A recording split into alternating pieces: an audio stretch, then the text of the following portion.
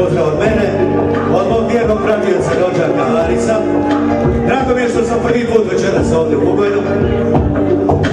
I ja ću vam pjevati nešto moje, nešto tuđe.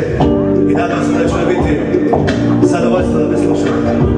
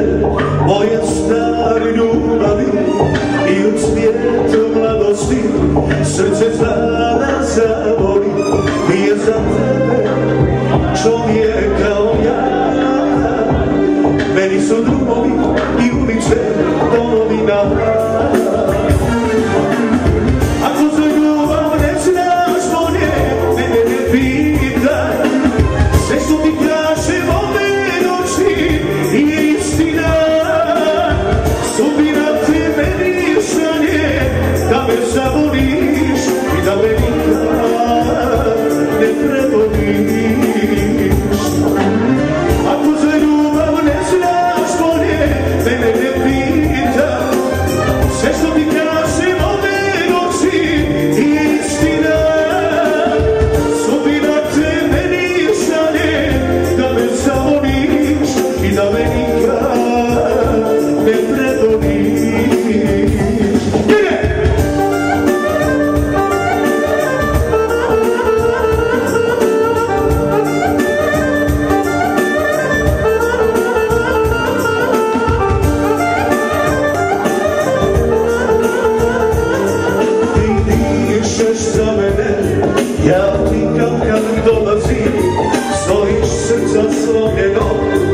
kad jutro dolazi Nije za tebe čovjek kao ja Meni su drugovi i ulice domovina Ako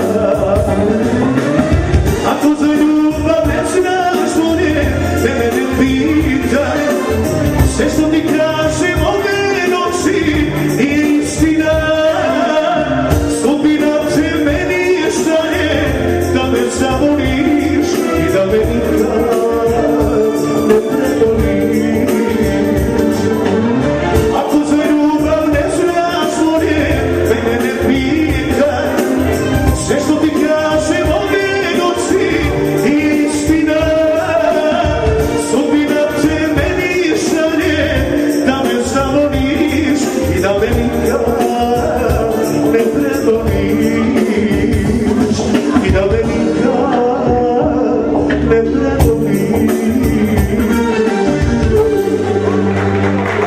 Hvala, hvala lijepo.